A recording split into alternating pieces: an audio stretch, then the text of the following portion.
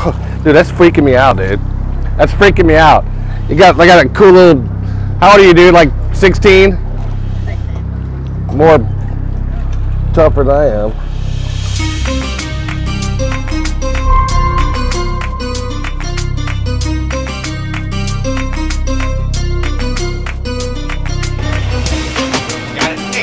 What's up, dude? We're looking for this cool cat named Billy.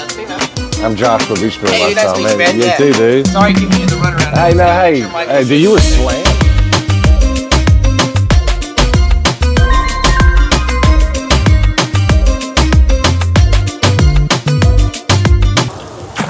Whoa!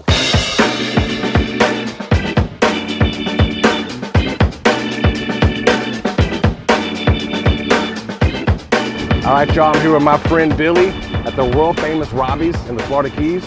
Billy, tell us a little bit about Robbie's, man. So Robbie's has been around since like 1976. It's been family owned, family ran, everything else. Uh, our main attraction here is going to be the tarpon feeding right here.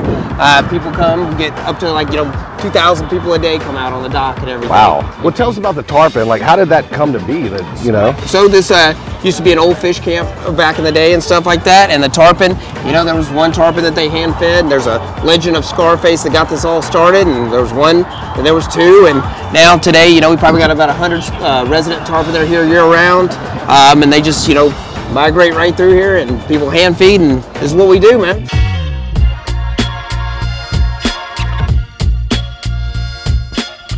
Oh. I didn't realize how big they were going to be. Oh yeah, your females can get, you know, eight feet, you know, 250 pounds plus, you know, live 50 years. Males live about 30 years. And this is something y'all do year round with the feeding of the tarpon. And this is year round. We're open every day, man. Hey, Billy, thank you for taking time, man. Thank I know you guys you're a for busy coming man. out, man. We appreciate you guys. Yes, sir. We're gonna Thank we're gonna go much. around, taste some food, Sounds good, man. see all the sights, brother. Sounds thank good. you, man. Thank